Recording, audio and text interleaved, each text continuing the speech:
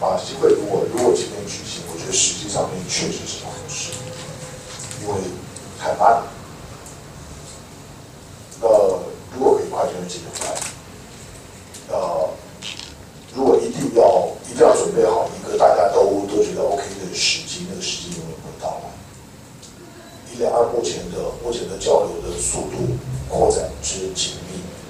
然后深化的程度之快，呃，在地球上面的任何两个政治体制，如果拥有这种关系，而高层甚至于高层所代表的政府之之间仍然戴着手套在在握手，这是不可思议的事情。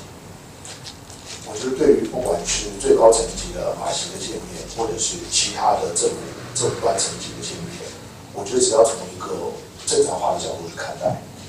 啊，我我觉得它都是健康的，都都是值得值得鼓励的。当然，我们可以严密的去监控它整个过程，啊，希望它尽可能透明。啊，呃，任何任何对于就是政府本身对马英九有不信任的人，呃，担心被他被他出卖的，可以听得紧一点。我相信目前台湾的社会体制跟跟政没关系，啊，要要有要有什么助人意表或者完完全在在在大家监督之外的这些所谓预约的什么的。二零一三年已经过去了，对台湾来讲，这不只是马英九的失败，对台湾来讲，其实都都是充满挫折的一年。这一年会不会是台湾的万历十五年？万历十五年是黄黄黄仁宇的作品啊，这个大历史的作啊，在写《万历十五年》这本书的时候，他的成名作。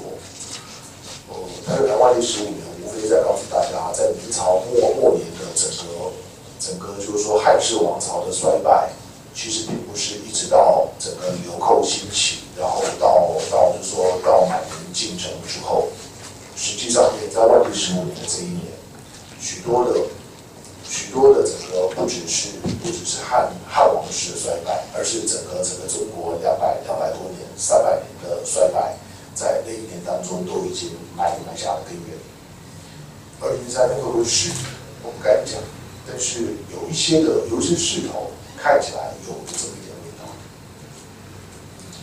比如说，对主政者来讲，二零一三年本来是诉求改革的一年。那从二零一二年当选之后，马英九让我觉得不可思议的是，他同时开了几条几条非常重要的，而且每一条都不好处理的战线，不管是征所税，不管是油电价的上涨，或者是美牛的进口，这些每一个议题，台湾的政媒环境来讲，任何一个议题都足以造成执政者、执政党重创。任何一个执政党，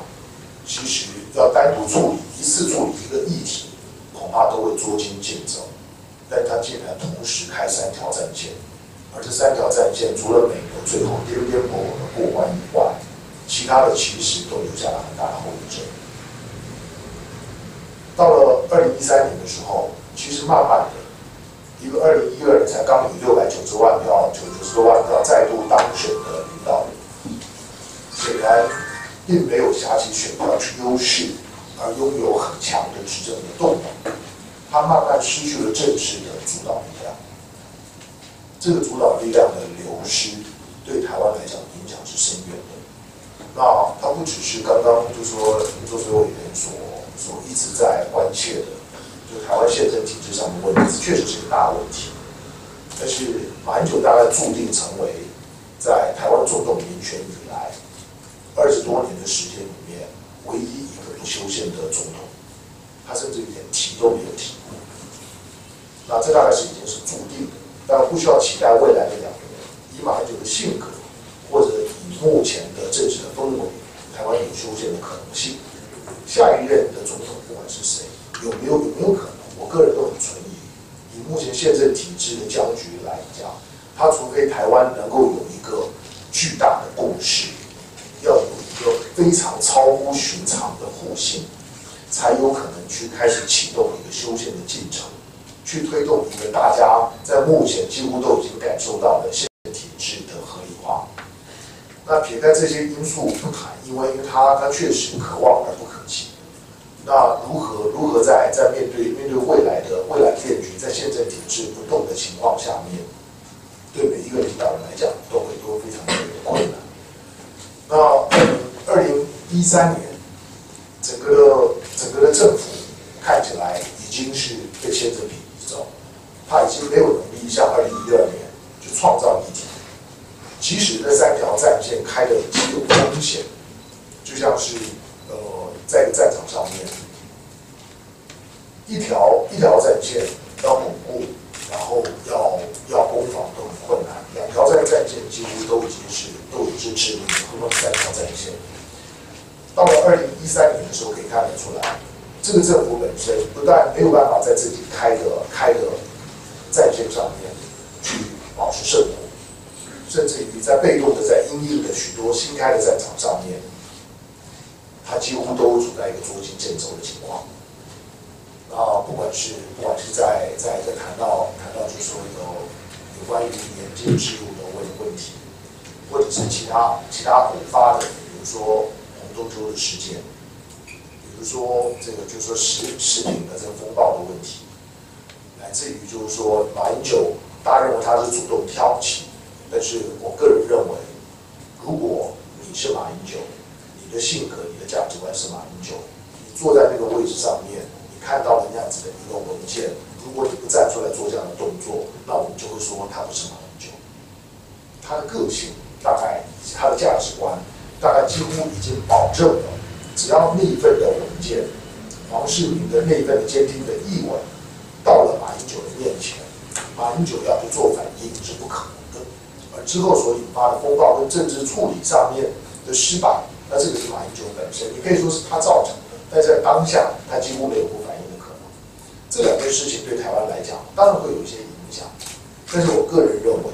这个是政治上面的重要，它不是历史上的重要。那对于历史上的重要来呃来讲，在于这个政府在二零一三年呈现出来的是一些他没有没有主导议题的能力，这一年几乎。被浪费了。那在因应因应就是说各种的危机上面来来讲，尤尤其让大家觉得我觉得很挫折的，是在经济上面。因为去年的这个时候，几乎所有的国内外的官方的、民间的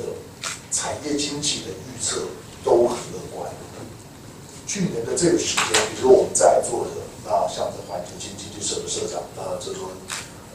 社长当然应该都还记得，去年其其实普遍来来讲，估计台湾的经济成长率都在三以上，乐观一点四二一一三年。那反而对股市的预期是比较悲悲观的。我看到一些一些就是说呢，一些外资机构对去年的股市的预测很少超过八千点，但是你回头去看的时候，两个预测都不准，股市比预期中要好得多，但是经济上面比预期中要差得多。去年。对台湾来的啊来讲，我我觉得最大的致命伤是台湾的产业界让我觉得失去了方向感，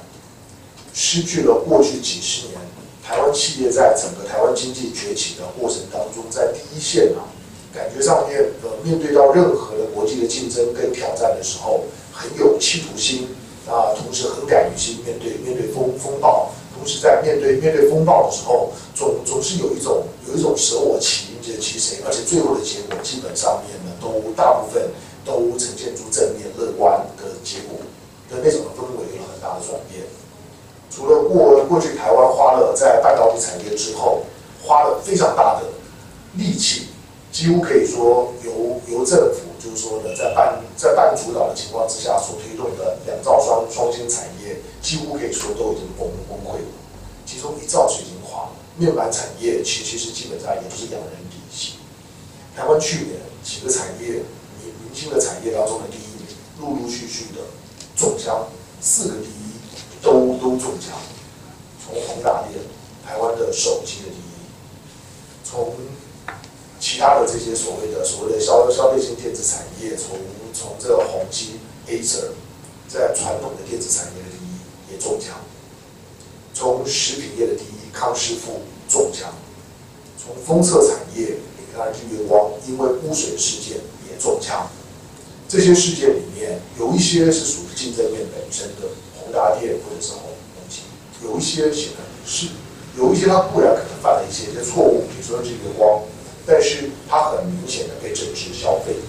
消费了之后，往往台湾的媒体、台湾的政治对于类似这样的一个新闻的时候，对于产业界经常都是用这种始乱终弃的方式。一开始的时候，就是对于说所有的这些呢涉涉及到某一种的呃可能错误或者是怀疑的弊案当中的企业，几乎是呢不留情面的大家怕。但是之后，今天康师傅顶薪又怎么样？固然他受伤了，但是事后我们有一个有一个明确的结果没有？日月光感觉上面似乎几乎上逼着日月光要关厂，可是今天又如何？也不过一个月前的新闻而已，大家都是用这种草草率的方式呢在处理，这种的非常的草率，一时兴头上面的所谓的重大事件，其实从结果来来看都不是重大事件，它几乎都是一种那种草率型形式、便宜的新闻媒体的消费而已。它对台湾来呃来讲，它确实会会造成不管是企业界本身的自信心，甚至于企业界对于这块这块土地未来。当他要再砸钱进行投投资的时候，面对到非经济的风险的时候，我认为，我认为企业界在过去一年里面经历过这些事件之后，在态度上面跟自信上面都会有很多的改变。二零一呃一三年，不管是政治或者是经济，好的事情，对了，它是一个是一个挫折。可是就像是前前几天，我的宪法老师胡佛教授写写的文文文章。我看完胡佛那篇那篇文章之后，感触非常非常深。我也我也没有看到谁出来反驳他，但是我也没有看到谁谁出来呼应他。胡胡佛写的那篇文章，一个一个中研院第一个第一个宪法学权威的院院士写完了之后，似乎就被丢丢到垃圾桶里面。他只在告诉你这件事事情，在当时的马英九，不止在价值上面没有错，在制度的处理上面也没有错，但是。没有讨论，我不是胡佛讲一定对，但是台湾在处理这些议题的时候，经常就就只是消费完了这句话，就也新闻热头过了之后，不管有人发出怎么样的声音，几乎都不会再引起重视，就像洪仲秋事件一样。固然大家今天言必称白山军如何如何，我觉得白山军即使今天回头去看的时候，比我当初看的时候更荒谬。白山军以在当时所诉求的事实。今天你看到的就是民间、民间、民间法庭的到现在为止的调调查，就是说检察机构的调查，跟目前初步审理的结果，没有一个脱离当初军审的初步的调的的呃调查的内容，有什么奇怪的？当初传传传说中的就绘声绘影的一些一些一些一些弊案阴谋，没有一个正正式实证。那我们也就在这样的一个过程都付出了这么大的代价，军神这么简单的就废了。配套都还没有，同样的，两个国防部部长就没有，那其他涉案的人，你不要说什么清白如玉的等等，也都没有了。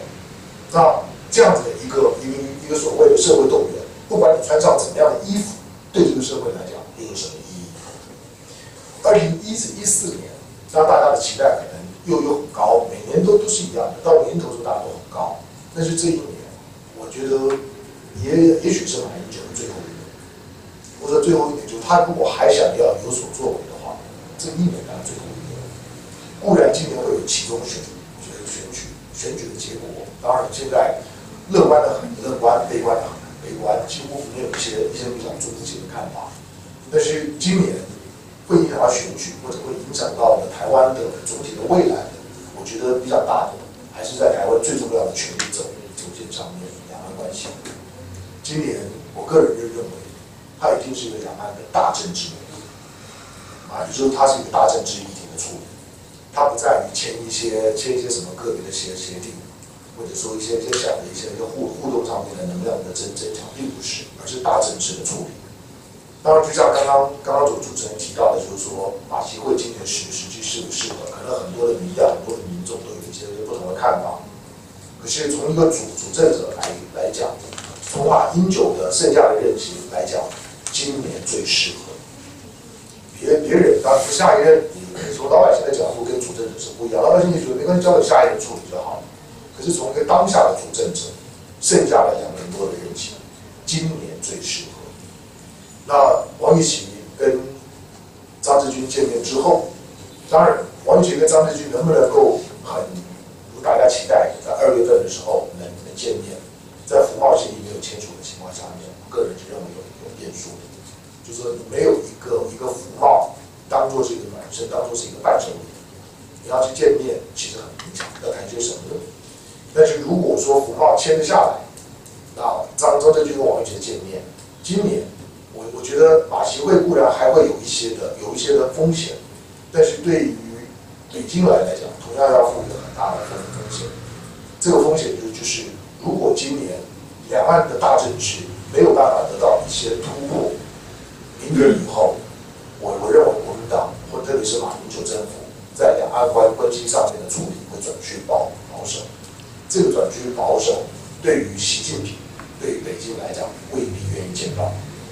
因此，在这今年，两岸在摸着石头过河，眼看着就已经快到岸了。双方面有没有机会在这时候突破？以台面下的氛围来讲，我认为突破的可能性一半一半。我不敢说非常大，因为对于齐哥号的这些敏感的意识形态问问题，大家都还在都还在装腔做做做事。但是，我觉得除了这些齐哥号的问题，其其实不过在一念之间而已。这一念之间，两岸其实都已经开始有一些解套的动动作。不管在台湾方面，在野党的态度开始有一些有一些比较相对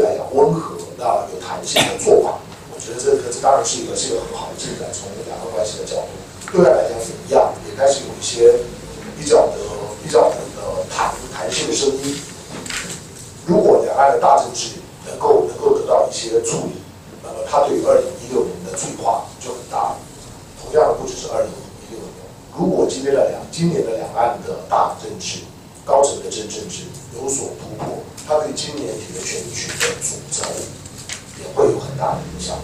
虽然是地方型的选举，但是因为今年的两岸的政治会非常非常热，不管是这边的热或者是那面的热，都会非常非常的热。因此，今年的选举，两岸的政策的因素，两岸路线的因素，也会影响到今年七合一的地方的选举。今年的变数很多，去年二零一三年会不会是台湾的万历十五年？就看今年有没有扭转的机会。不管在经济上跟政治上，我认为今年都很有很有转变，很有转好机会。